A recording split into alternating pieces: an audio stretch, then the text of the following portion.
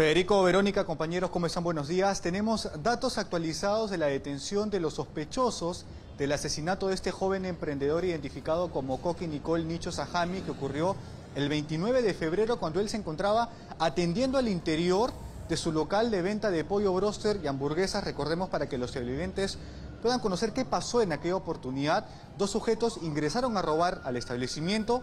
Coque Nicole opuso resistencia y lo asesinaron solo para robarle un celular y el dinero que él había conseguido como parte de las ventas del día. Pero ¿qué información manejamos a esta hora de la mañana con respecto a esta intervención que ha ejecutado la División de Robos de la DIRINCRI? Bueno, primero tenemos que identificar una vez más a los sospechosos que integrarían una banda criminal denominada los Lobos del Norte que está siendo investigada por la presunta comisión de los delitos de fabricación, uso o porte de armas y municiones y también por estar implicados aparentemente en el asesinato de este joven emprendedor.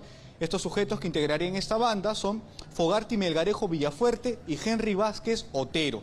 La policía los ha capturado en las inmediaciones de la avenida Angélica Gamarra cuando se encontraban a punto de ejecutar un nuevo robo a otro comercio de esta avenida en Los Olivos. Y también nos han podido brindar la información de que se han incautado una pistola abastecida con tres municiones, seis envoltorios de cannabis sativa marihuana, 18 envoltorios de pasta básica de cocaína y cuatro celulares. La policía los ha capturado luego de un trabajo de inteligencia. Recordemos que nosotros pudimos conversar con la madre de Coqui Nicole, la señora Pilar, que en aquella oportunidad, muy afligida, exigía que las autoridades puedan capturar a estos sujetos, porque ella tenía la información, además, de que serían las mismas personas que normalmente ejecutaban robos al paso y a comercios en la urbanización Santa Rosa, donde este joven de 25 años tenía su pequeño negocio que abrió hace ocho meses. Es importante esta información porque también nos han brindado un detalle valioso en las investigaciones y es que una semana antes de que ocurra el robo y asesinato en el local de Coqui Nicole,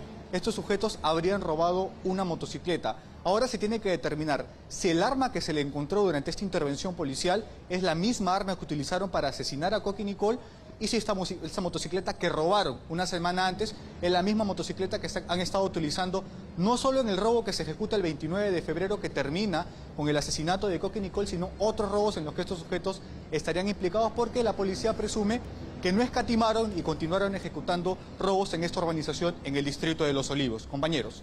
Bueno, por lo menos tenemos argumentos ahí para que los tengan y los procesen directamente hasta llegar al punto final que es el asesinato de este hombre tan trabajador y, valioso